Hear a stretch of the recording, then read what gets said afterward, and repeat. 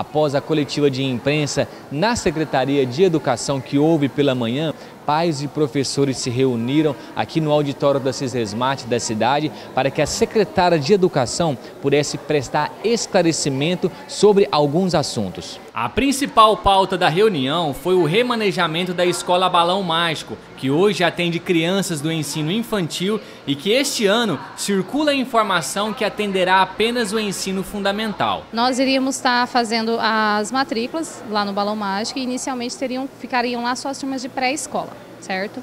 Só que lá no Balão Mágico, ano passado, nós tínhamos pré-2, que esse ano se tornaria um primeiro ano. E essas crianças nós estávamos sem local para estar tá fazendo a matrícula delas também. Nós fizemos a distribuição por bairro, teve algumas crianças que foram para o Lira, outras crianças foram para a Cidade Alta, né, para a Escola João Batista, outras foram para a Escola Dionísio. Porém, nós ainda continuamos com a demanda de alunos que era da Escola Balão Mágico, que nós tínhamos que organizar, e nós tínhamos a já a extensão escolar que era fundamental, da Escola Valdeci, dentro da estrutura da Escola Balão Mágico. E nessa outra reorganização que a gente está vendo, para poder atender toda a demanda, o que houve? Nós trouxemos a documentação toda do balão mágico, nós reavaliamos e dentro da estrutura do balão, a nomenclatura da escola balão mágico, nesse primeiro momento ela vai mudar e ela vai passar a atender Escola Municipal de Educação Infantil e Ensino Fundamental Balão Mágico. É essa tipologia. O, os pais que chegaram é, no dia 8, nós, tínhamos, nós chamamos a escola, fizemos a conversa, e eles é, foram comunicados que pré-escolar, nesse primeiro momento, não vão ser matriculados lá. Não vão ser, porque não tinha mais também do balão mágico. Esses pré-escolares de crianças que talvez viriam para o balão são alunos da Menino Jesus, que o ano passado era pré-1. Então nós fizemos, a, nós fizemos o comunicado, um primeiro momento sim, que esse ano de 2020 atenderia primeiro ano e segundo ano, é, na demanda da estrutura do, do, balão mágico. Até mesmo porque tem salas de aula lá que nós fizemos um, com base nos relatórios que foram apresentados pelo Conselho Municipal de Educação, pelo Ministério Público, que a gente deveria é, estar desmanchando as salas de madeira.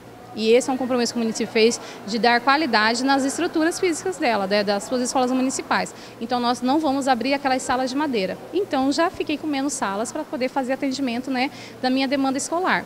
Então é, nós fizemos, a, fizemos o comunicado aos pais, pedimos que os pais da Menino Jesus, que iriam ser esse pré-2, que iriam para o balão, aguardar, que nós iríamos efetivar as matrículas entre o período dia 8 ao dia 10, certo?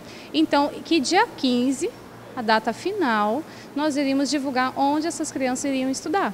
E aí nós pedimos o prazo até o dia 15, porque eu estou ainda encerrando as matrículas e rematrículas, tanto ali no Balão Mágico, desse primeiro ano e segundo ano, como lá na Menino Jesus também porque nós divulgamos a chamada escolar e a lista de espera dia 20 de dezembro e demos os prazos que os pais deveriam fazer as suas matrículas. Rosângela Estevo, que é mãe de aluno, pede para a secretária de Educação continuar focando com a preocupação na qualidade do ensino que as crianças irão receber. Eu tenho um filho de 4 anos, vai fazer 5 anos, ele está saindo do pré-1 da escola Menino Jesus e vai para, não, sabe, não sabemos para onde ainda, né? mas ele vai para o pré-2.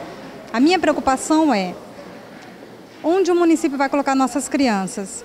Está adequado atender essas crianças de cinco aninhos? Porque não, deve, não devemos nos preocupar somente com a localidade dessas escolas, se fica próximo ou não à nossa residência. Sim, esta deve ser uma preocupação, sim, mas não exclusiva. Porque uma escola para atender uma criança de 5 anos, ela tem que ter um parquinho, ela tem que ser uma escola adequada. Então, é, o nosso município é, como eu pedi para a secretária, deve se preocupar com isso. Porque se a escola só ficar perto da nossa residência, mas ela não for adequada para atender o nosso filho, não está resolvido o problema. Conforme prometido, o prazo vai até o dia 15 de janeiro para a organização e remanejamento das matrículas, e a secretária deixa claro que nenhuma criança ficará sem sua vaga pais, se acalmem. Nós já garantimos que até dia 15 nós iremos fazer a divulgação da listagem das crianças, se realmente vão é, permanecer dessa forma e, e ser remanejado para outras escolas, ou se vão vir fazer matrícula no Balão Mágico. E nós garantimos isso porque dia 6 de fevereiro é a previsão de começar as aulas né, no município. E essas crianças irão estudar. É obrigação do município e o município ele está comprometido com isso. O que eu peço e alerto a população, se tem dúvida, nos procure. Vem ali na secretaria, pode nos procurar para conversar, pode estar ligando, que todas as informações serão repassadas aos senhores.